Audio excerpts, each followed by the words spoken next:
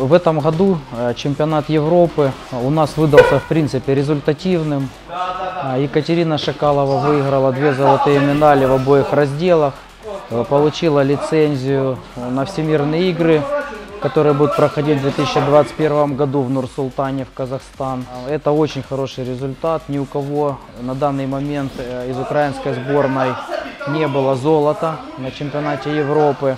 И тоже это первая лицензия на всемирные игры. Э, Также два спортсмена харьковских. Алена Герман э, стала второй. Данил Ильинский в категории 62 килограмма стал третьим, уступив всего один балл э, действующему чемпиону мира, семикратному чемпиону мира по грэплингу. Это тоже очень хороший результат, то есть значит мы движемся ну, в правильном направлении, спортсмены растут. В целом мы довольны выступлением команды. Я еще как тренер сборной Украины хочу сказать, что в целом команда украинская выступила э, очень достойно, много призовых мест. Украина все равно входит в тройку лучших команд э, Европы, лучших стран Европы.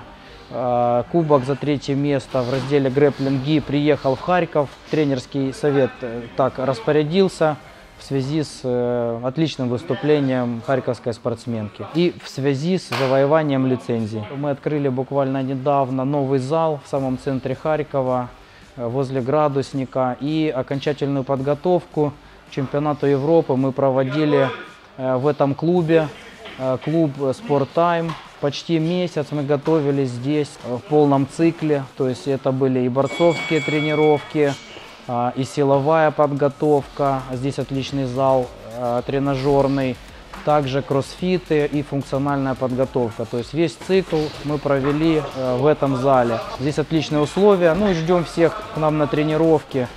А, Приходите, пробуйте, работайте с лучшими грэплерами э, Украины, не только Украины, а и Европы и мира.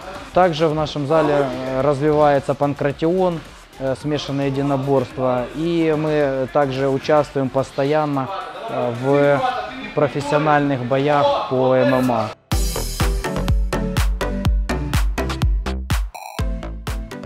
С 16 по 19 февраля в городе Риме, Италия, проходил чемпионат Европы э, по грэпплингу в разделах ГИ, ноги. На эту Европу я перешла в другую весовую категорию с 58 килограмм, э, перешла в 64 килограмма, так как э, в разделе ГИ э, разыгрывалась лицензия на Всемирные игры в 2021 году. Вот. э, Соревнования как бы прошли успешно, я их выиграла. Вот. э, Правда, на второй день был такой момент, э, появилась неожиданно соперница, э, той, которой я проигрывала всегда в 58 килограммов. Э, Это девушка из э, Польши. Вот. э, В прошлом году я проиграла ей на чемпионате Европы, вот, тоже в разделе ГИ. В этом году я собралась как бы со своими силами, выиграла ее со счетом 4-4. Но по мнению судей победила я, так как у меня были э, лучшие дополнительные показания. Мне удалось завоевать лицензию, вот, что дает мне право участвовать э, в Всемирных играх э, в 2021 году в Нур-Султане, Казахстан. Хотела бы выразить благодарность э, своим тренерам. Это Антон Бочарашвили, Гендия Геля и Владиславу Сороке за подготовку. Мы уже неоднократно выигрывали с ними чемпионаты мира. Вот. Европа нам, э, к сожалению, не давалась. Вот. Это первая моя Европа, которую я выиграла, и еще и в двух разделах.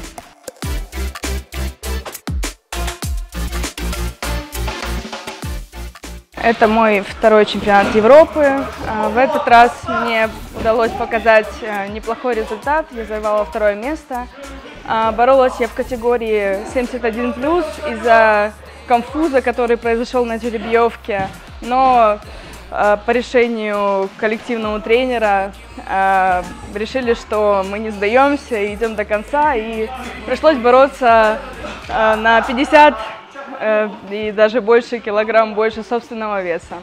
Вот. э, Я поборолась э, с француженкой, э, была также спортсменка с Польши и россиянка.